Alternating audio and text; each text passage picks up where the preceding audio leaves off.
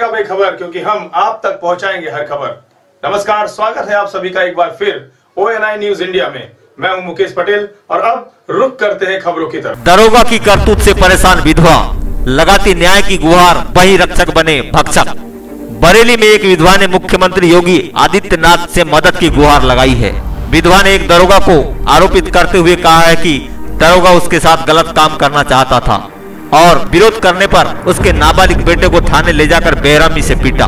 पेशे की खाकी कलंकित करने वाले एक दरोगा की करतूतों का खुलासा करने वाली ये खबर।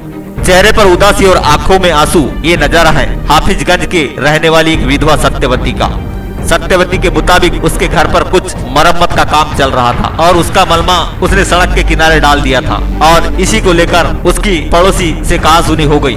मामला थाने तक पहुँच गया थाने में विधवा सत्यवती को देखकर हाफिजगंज थाने के दरोगा आदित्य की नीयत खराब हो गई। रात को दरोगा महिला के कमरे पर आया और विधवा को रात को अपने रूम पर आने को कहा और रात में रुकने की बात कही।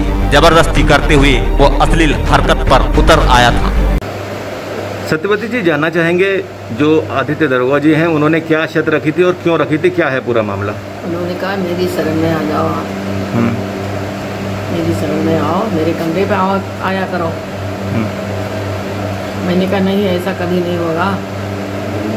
मैं किसी का कुछ भी काम कर कर, कर सकते खा लेते हैं रोटी मगर ऐसा कैसे नहीं करूँगा?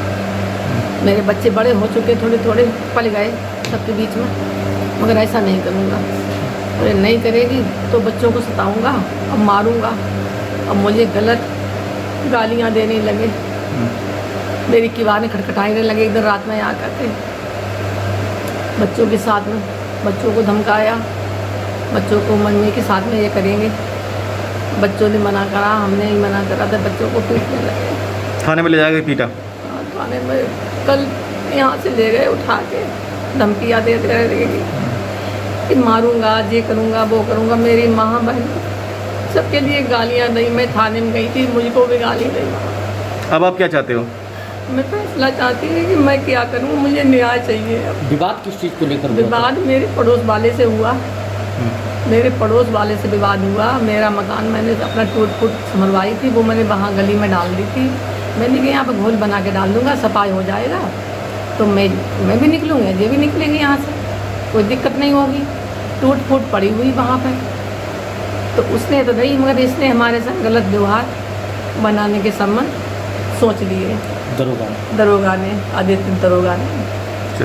हाँ तो उसने मेरे कल मकान की चाबी भी छीन ली और मोबाइल भी मेरा रख लिया जो मैंने किसी को फ़ोन भी नहीं कर पाया। तो जब मैंने कहा भैया मुझे मोबाइल दे दो वहाँ पर सिपाही लोग थे। तो वो कहने लगे नहीं कुछ नहीं मिलेगा यहाँ पर। कोई नंबर नहीं लगेगा ना फ़ोन करोगे। महिला ने जब उसकी बात को मानने से इनकार कर दिया तो वह उसके बेटे को थाने में ले जाकर बेरहमी से पीटा। दरोगा का कहना था कि अगर विधवा उसका कहा नहीं मानेगी तो वो उसके बेटे को जेल भेज देगा। क्या नाम है आपका? अजय शर्मा। अजय जी क्या है पूरा मामला? क्यों थाने में ले जाके आपकी संग पिटाई की गई? ये हमें धोखे से उठवाया था आदित्य दरोगा जी ने। हम्म, बोले थे कि क्या कहते हैं आपको एस साहब और वहाँ पे प्रधान जी बैठे वहाँ उन्होंने बुलाया है। तो वहाँ पे कोई नहीं था जैसे कि मैं गया था वहाँ पे कोई नहीं था। तो मुझे गाड़ी से उतरते ही इन्होंने हाथ पाँव मारे थे और खूब हाथ के ऊँचों से खदेड़ा था। और मुंशी जी के ऑफ़िस तक हमें वहाँ पे रस्सी से बनवा के डलवा दिया और जान से मारने की धमकी दे रहे थे गला दबाया था हमारा। क्यों कर रहे थे वो ऐसा? ये कुछ असीली हरकतें करना चाह रहे थे। मम्मी के साथ? मम्मी के साथ। अच्छा।